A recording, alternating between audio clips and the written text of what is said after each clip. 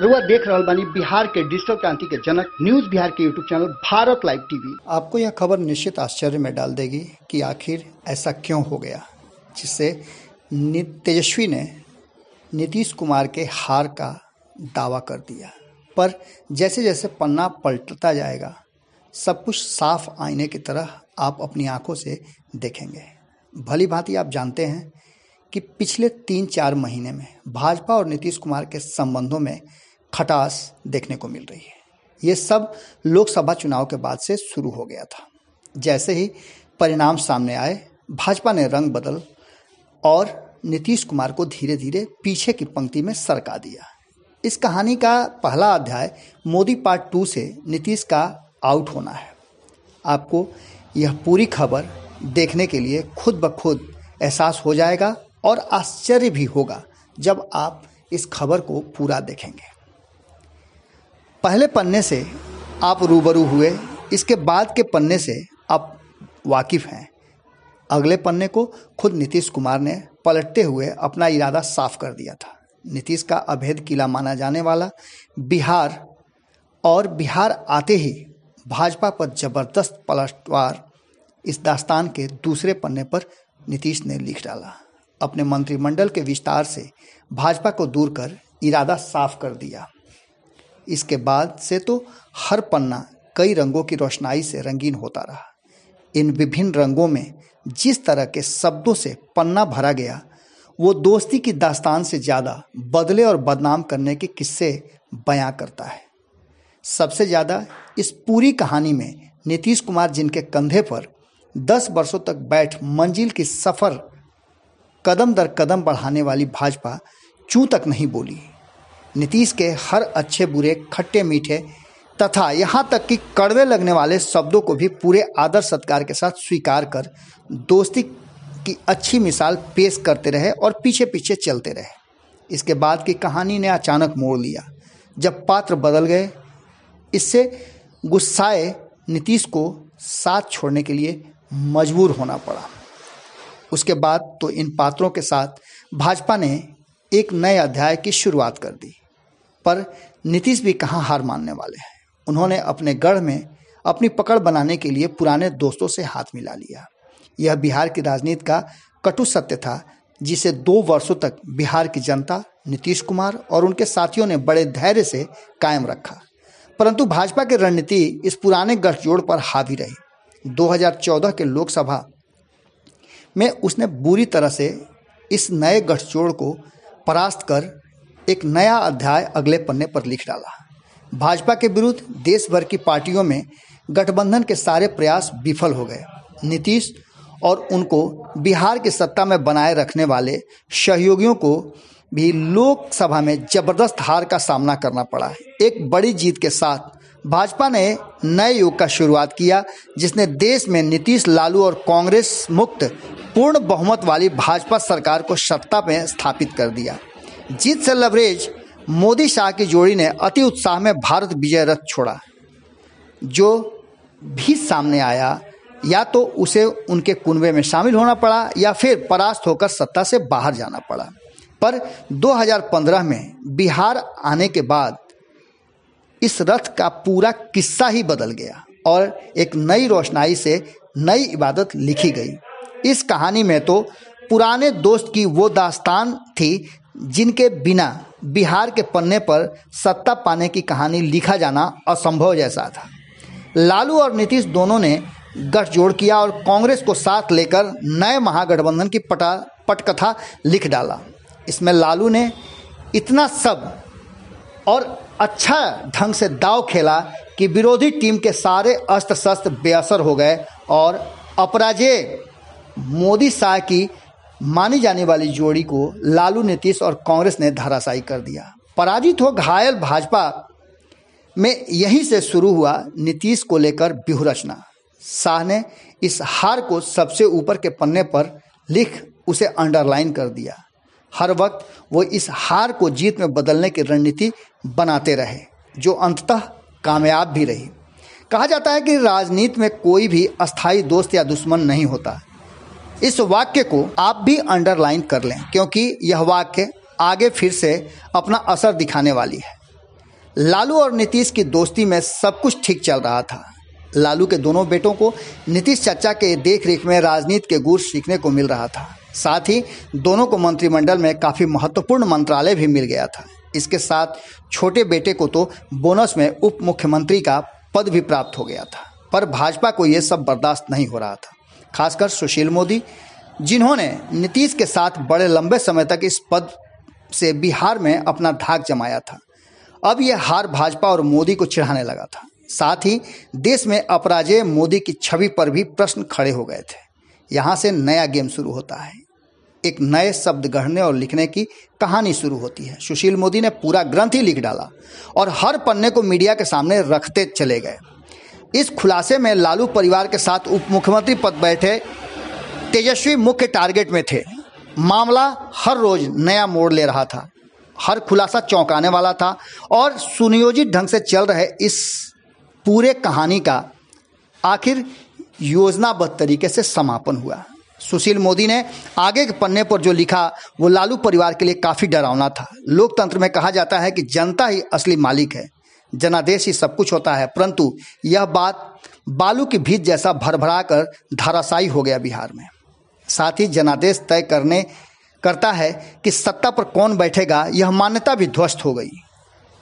तब याद आया केंद्रीय सत्ता पर की गई न्यायालय की टिप्पणी, जिसमें तोता शब्द का उल्लेख किया गया था। यह स्वायत्त संस्थाओं के लिए प्रयोग किया गया था वो सरकार पर काबिज दल, नेता के लिए मास्टर की के तरह काम करता है।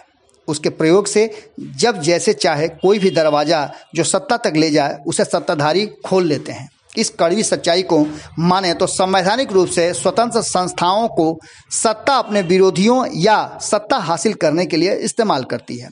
बिहार में भी कहा जाता है कि केंद्र में बैठी भाजपा ने बिहार में सत्ता के लिए इस रास्ते को अख्तियार किया। लगातार इस बात पर चर्चा राजनीतिक घरानों में भी आप सुन सकते हैं। इन सब के बीच सुशील मोदी के लिखे पन्ने बड़े असरदार निकले, जिसने नीतीश को मात्र डेढ़ साल के अंदर महागठबंधन छोड़कर फिर से भाजपा की अगुवाई वाली एनडीए के साथ आने का हेतु दे दिया। नीतीश को तेजस्वी पर लगे भ्रष्टाचार के आरोप के रूप में एक मज़बूत मुद्दा भी मिल गया था। आरोपों को लेकर यह दावा किया गया था कि तेजस्वी जैसे ही उप मुख्यमंत्री पद से हटेंगे, गिरफ़्तार कर जेल भेज दिए जाएँगे। पर दो वर्ष बीत जाने पर भी उन्हें जेल अब तक नहीं भेजा जा सका है। हाँ ये ज़रूर हुआ कि नीतीश कुमार का उप मुख्यमंत्री ज़रूर बदल गया।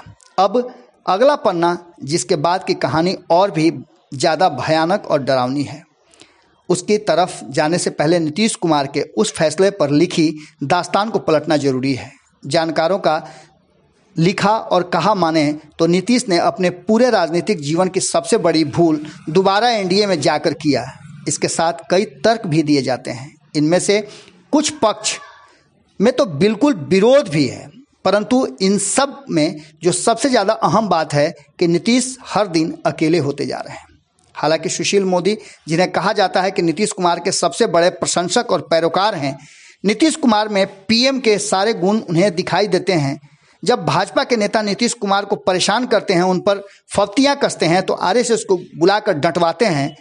पर कुछ दिनों से उनके रंग भी फीके होते दिख रहे हैं। नीतीश के हर फैसले पर साथ खड़े होने वाले छोटे मोदी दूर दूर नज़र आने लगे हैं।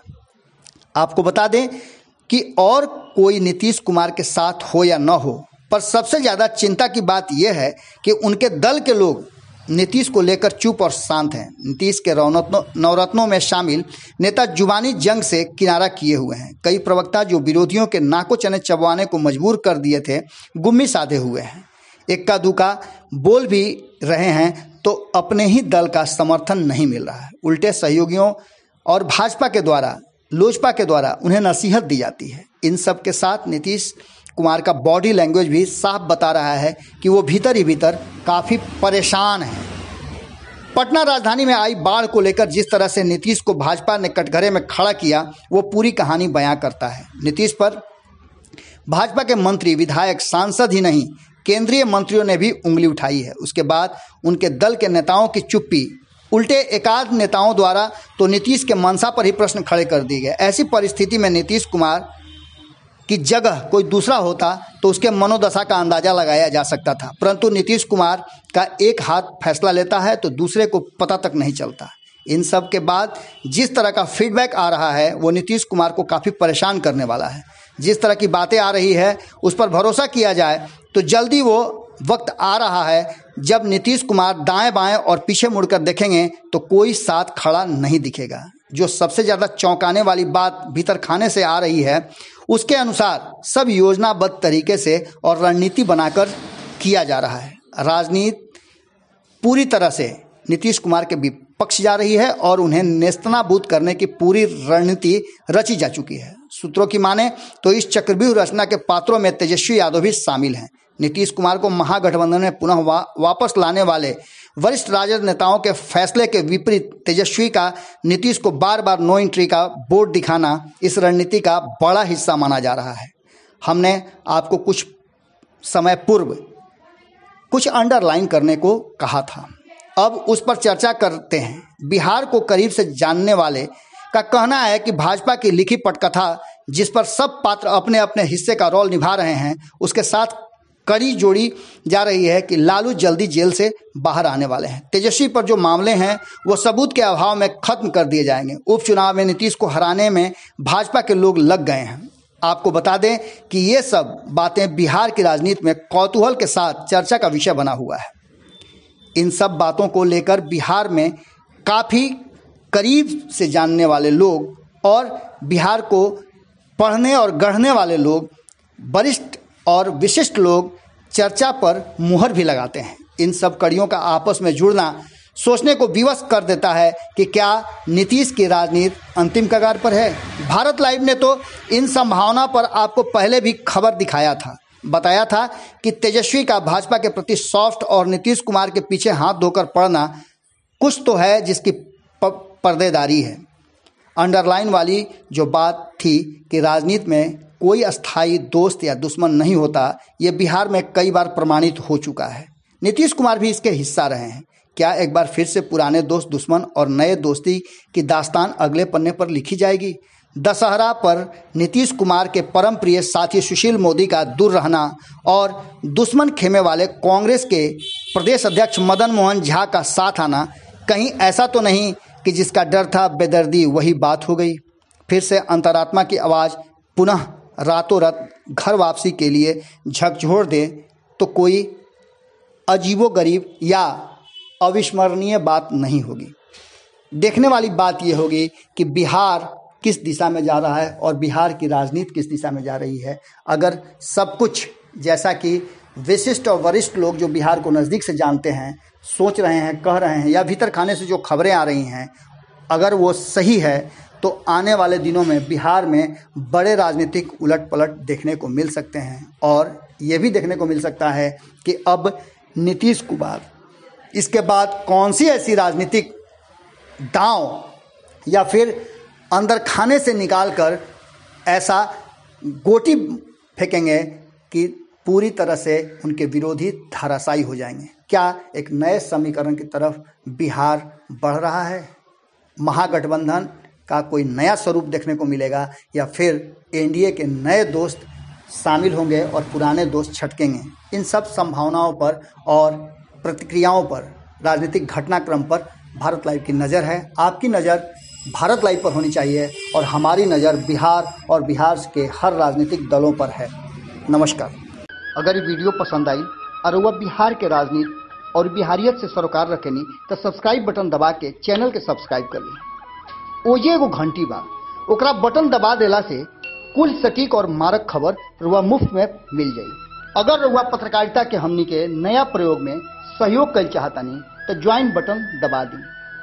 पेटीएम नंबर नोट कर ली nine three eight six eight one six seven double zero. धन्यवाद।